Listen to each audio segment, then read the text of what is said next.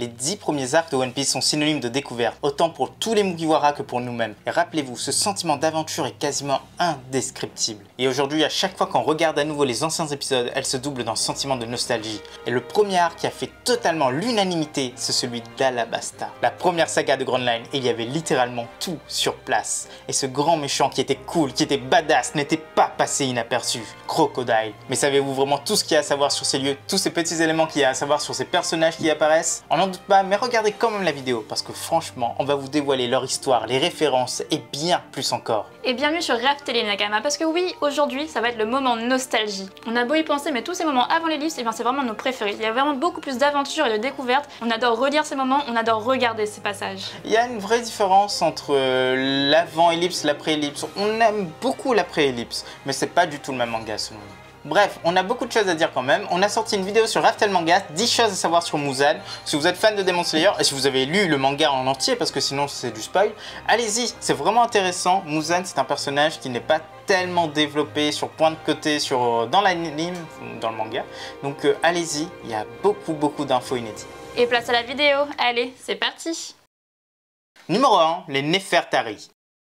Pour bien commencer cette vidéo, il faut parler des Nefertari, ces personnes qui règnent sur Alabasta. Car au tout début de l'ère actuelle, il y avait une organisation qui avait pris le pouvoir. Ils ont tout pris d'un seul coup. C'était le gouvernement mondial. Évidemment, ils ont battu tous les autres royaumes et ils ont imposé leur vision des choses. Et à leur tête, il y avait 20 rois. 20 rois très très puissants. Ceux qui ont tout mené d'une main de maître et qui ont pris le monde entier. Et bien sûr, on connaît énormément de personnes de cette lignée. Les dragons célestes évidemment, mais on a aussi les Don Quichotte avec le fameux Doflamingo. Et la dernière lignée connue, eh bien c'est celle des Nefertari les dignes protecteurs d'Alabasta. À l'époque, les 20 rois s'étaient réunis sur le lieu de l'ancien pouvoir, sur Red Line, et ils ont décidé de l'avenir du monde, mais surtout de l'avenir de leur descendance. Car sur place, ils vont construire un énorme château qui est encore visible aujourd'hui, Marie-Joie. C'est l'édifice le plus haut placé de ce monde, et les 20 rois ainsi que tous leurs descendants, ou presque, vont y vivre. Ils étaient exemptés de toute loi, ils étaient intouchables, et ils seront nommés dragons célestes. Bien sûr, tout leur sera dû, mais quand on vous dit tout, c'est vraiment tout. Ils auront de l'argent, ils auront le logis, ils auront tout pouvoir et surtout, ils seront des esclaves. Ils pourront transformer n'importe qui en esclave juste par la volonté. Mais le roi ou la reine, parce qu'on ne sait pas, du royaume d'Alabasta a totalement refusé. Et ce dirigeant, il a renoncé à ce droit. Il est parti directement dans son royaume. Et sur place, ils ont juste régné très sagement de génération en génération,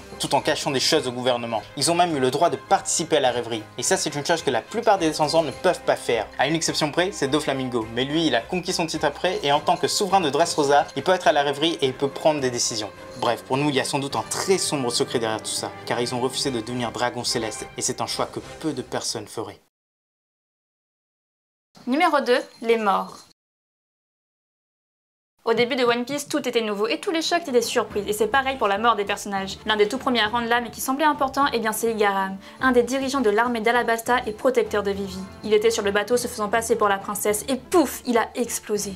La faute à cette chère Miss Sunday. Puis on a le grand Pell. Vers la fin de l'arc, cet homme a tout donné pour sauver la princesse. Il a décollé avec la bombe et il a explosé dans le ciel. C'était vraiment une énorme tristesse. Mais finalement, eh bien non, il n'était pas mort. Ils sont tous les deux revenus. Igaram est revenu à la fin de l'arc et Pell un peu plus tard. Il n'avait qu'une grosse cicatrice sur le torse. Bizarre? Eh bien oui et non, car une grosse explication a été donnée. Juste après la mort de Pell, le 11 septembre a eu lieu. Le traumatisme était tellement fort que l'éditeur a expressément demandé à Oda de faire revenir ces deux personnages. Numéro 3, le pirate. Avez-vous déjà vu les prémices de Nami? Si c'est non, eh bien il y a pas mal de croquis que vous pouvez voir ici. Il y en a une avec une hache et elle est plutôt stylée. D'ailleurs, il lui manque un bras, une jambe. Mais Oda a très vite changé tout ça. Ensuite, on a celle avec les cheveux bleus qui avait un animal de compagnie, un oiseau assez particulier. Et enfin, on a celle qui ressemble comme deux gouttes d'eau à Vivi. Car Oda avait déjà ce personnage en tête et Vivi devait être pirate. En fait, elle aurait pas du tout dû être une princesse. Mais encore une fois, l'auteur a tout changé et il a fait en sorte que Vivi en devienne une. Est-ce que vous vous rendez compte, elle aurait pu devenir une vraie Mugiwara? Et tout le monde, sans exception, le voulait à la fin de cet arc. Numéro 4, Poneglyph. Alabasta est entièrement lié au gouvernement. On l'a déjà dit, mais avant, leur roi était entièrement lié aux dragons célestes. Pourtant, ils leur ont menti et caché une chose incroyable sur place, un poneglyphe. Cette chose est dans la crypte d'Alabasta, et c'est une stèle qui contient des informations très importantes sur le siècle oublié, sur l'histoire de ce monde. Malgré le tabou, cette stèle est dans leur sous-sol, dans la crypte des Nefertari.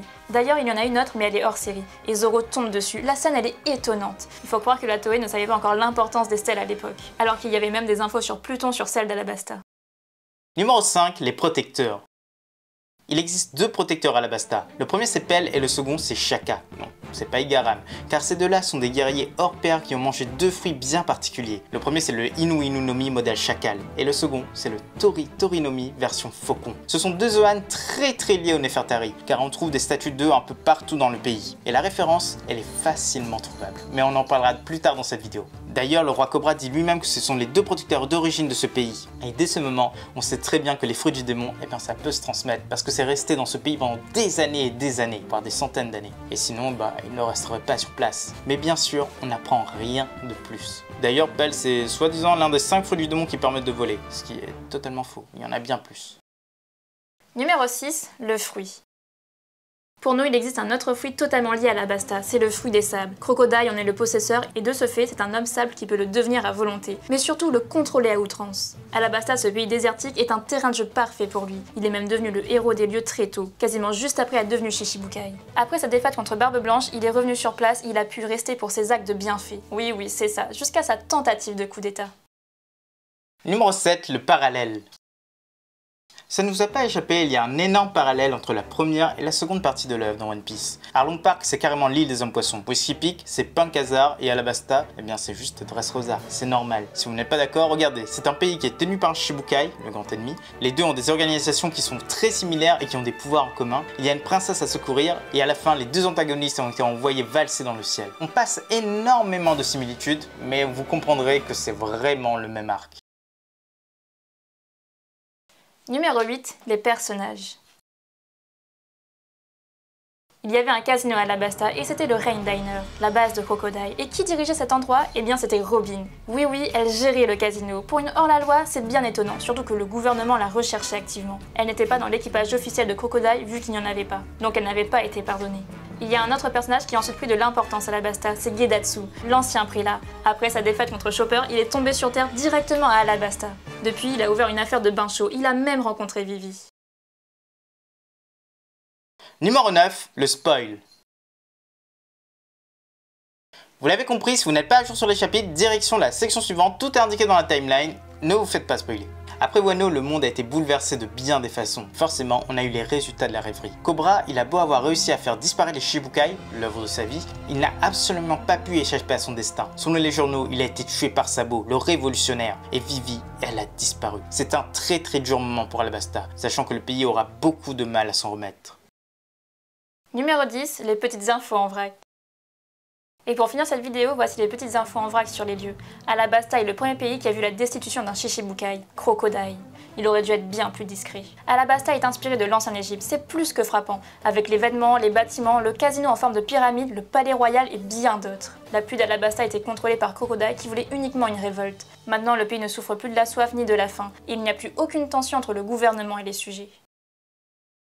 Voilà Nakama, c'est déjà la fin de cette vidéo. Elle était assez courte, mais en même temps, elle était assez intéressante. On espère que ça vous a rafraîchi les idées sur Alabasta, puisque c'est très important pour ce qui arrive dans One Piece. A bientôt les accords de One Piece